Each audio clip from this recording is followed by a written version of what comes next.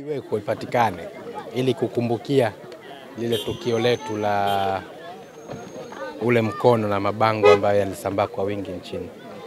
Mmetoa Mmetoa hapa zawadi au sadaka kwa vijana wa madrasa uh, na huu umekuwa utaratibu wa Yanga ikiwa ndani ya nchi au nje ya nchi, na mara nyingi mnafanya hivi kuelekea kwenye mechi zenu. Uh, Mnaamini nini katika hili? Uh, Yanga ni timu ambayo kama tulivyo tunavyotambulika kama ni timu ya wananchi. Uh, tumezungukwa na jamii, lakini michezo ni sehemu moja ya kuwa inspire vijana wengi, lakini tunatambua kwamba sio vijana wote wanapata fursa za kukua katika mazingira yale ambayo yanaweza yakawafanya wakuwe kama wanavyokuwa wengine. Kwa sisi kama klabu ya Young Africans tunaamini katika kurejesha kwa jamii ambayo inatuzunguka. Tunaamini kwamba kupitia klabu ya Young Africans tuna nafasi na tuna uwezo wa kuendelea kuwaunga mkono wananchi wale ambao wana mahitaji maalum, na ndio maana tumekuwa tukiudumisha utamaduni huu tukilidumisha hili kuhakikisha kwamba kila Mtanzania kwa misaada ambayo itatolewa Tanzania anafaidika na uwepo wa Young Africans. Tukienda nje ya mipaka, basi Tanzania nayo iweze kutangazika kupitia Young Africans. Mnaamini pia katika baraka ambazo zinatokana na sadaka mnazozitoa ni sehemu ya mafanikio na matokeo mazuri uwanjani? Uwanjani uh, kuna maandalizi yake. Uh, Timu inahitaji maandalizi.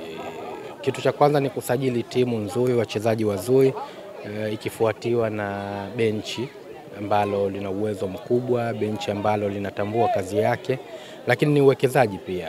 Ukiangalia klabu ya Yanga uh, inatofautiana na vilabu vingi kwa aina ya uwekezaji ambao tumeufanya katika miundombinu yetu ya kuhakikisha timu inafundishwa kwa kisasa.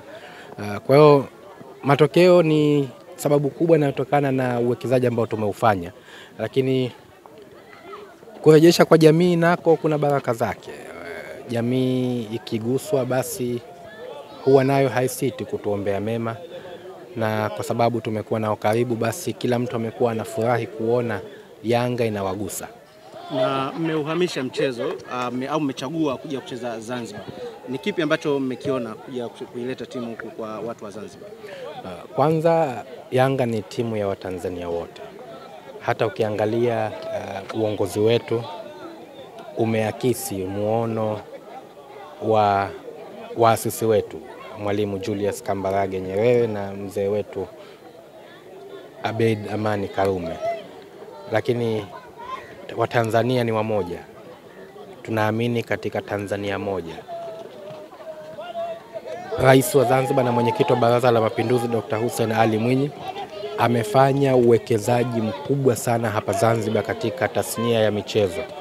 Uwanja wa Amani umeboreshwa, umekuwa uwanja wa kisasa, na kwa kuwa Yanga pia ina bezi kubwa sana Zanzibar na ina historia kubwa sana Zanzibar, tumeonelea ni vyema Wazanzibari na wao wakapata fursa ya kuiona timu yao, lakini na wao wakawa sehemu ya kuweka historia kwa timu yao kuenda hatua zinazofuata za makundi, mara hii ikiwa ni kutokea hapa Zanzibar.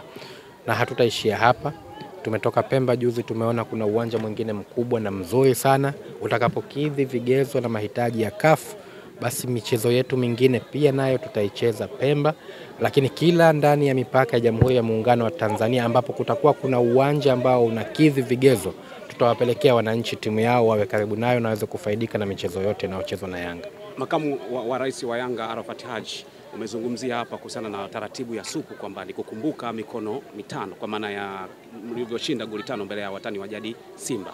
Endapo kama Simba wakija ku- ku- kupindua meza, pengine inaweza kabadilika hilo. Umeshasema endapo, sisi tumejipanga kuhakikisha kwamba sisi tuna tabia ya kuvunja rekodi zetu wenyewe, kwa hiyo tunajua tunachokipanga wenyewe, hilo lisikupe hofu. Utakuwa na mwendelezo zaidi. Mimi nakutoa hofu, uwe na amani. Tunatamani tuwe tuna rekodi kubwa zaidi ambazo tumekwisha wahi kuziweka nchi hii. Asante. Asanteni sana.